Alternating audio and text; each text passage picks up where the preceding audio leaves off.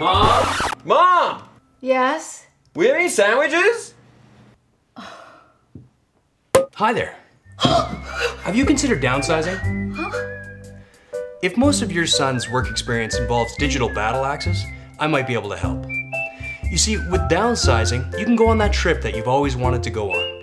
You could buy a newer home and save on utilities. And most importantly, you can provide certain family members with motivation. Give me a call, Erik Gault, 587 298 2482.